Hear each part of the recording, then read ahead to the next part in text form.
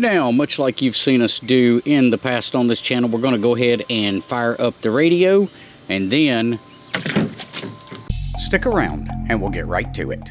Today, let's take a look at the uh, Luance, Liance, not sure how to say that, HA1G GMRS radio.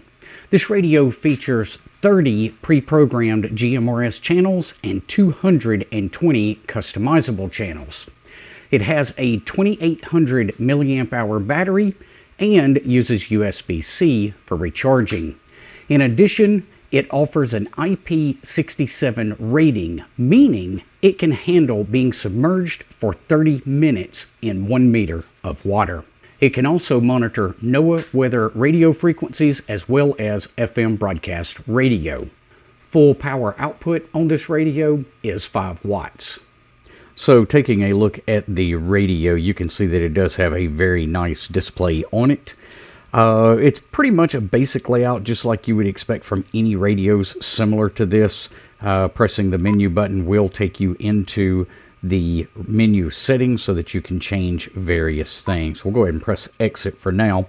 We do have uh, the antenna up top, the channel selection button right here beside it so we can cycle through the channels with this one button. And then of course we have the volume knob and it serves as also the on off switch. Over on the side, we have a nice PTT button and a couple of function buttons here.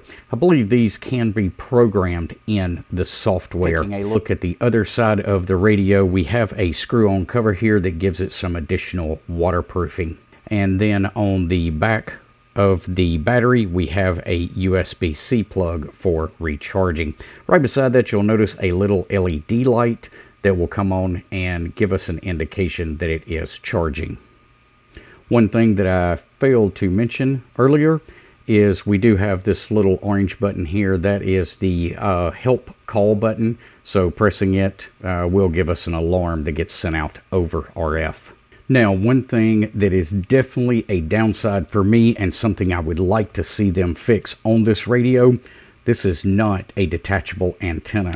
So trying to turn it to get it off, well, it just doesn't happen. And to me, this is a bad oversight because if we could remove this antenna and connect it to something like a roll-up J-pole or some other type of external antenna, that would make this particular HT a lot more useful. So I hope to see them come out with another one of these that does have a removable antenna. Now, there might be some that argue the uh, non-detachable antenna is part of the waterproofing, but if you guys remember, I just did a recent video on the Retevis RA89 radio, which had great waterproofing capabilities, and it does come with a detachable antenna. So I know it's possible, and I think it's just more of an oversight with this particular radio.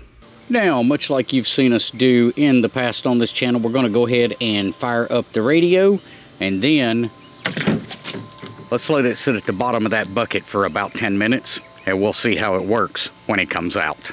All right, now that that radio has been submerged for 10 minutes, let's pull it out. Screen looks good. We'll go ahead and walk out into the grass here, get away from that receiving transmitter or receiving uh, FT using the FT5 to receive this one. We'll go ahead though and flip this around and let's give this a quick test. Testing one, two, three, four. Testing one, two, three, four. After the GMRS radio has been submerged for 10 minutes, what is the transmit quality like? Testing clear. Another 10 minute bath here. Let's see what this thing sounds like after it's been submerged for another 10 minutes. Let's see, can we get a shot maybe of the screen? It's still on, everything looks good. Let's try not to get the microphone wet. We'll set that over there. And I'm going to walk out here just a little way so we can do another one of these transmit tests. keep forgetting with this camera which way to look. Do I look right there? do I look down here? It's all confusing. All right, stand by. Testing. One, two, three, four. Testing. One, two, three, four.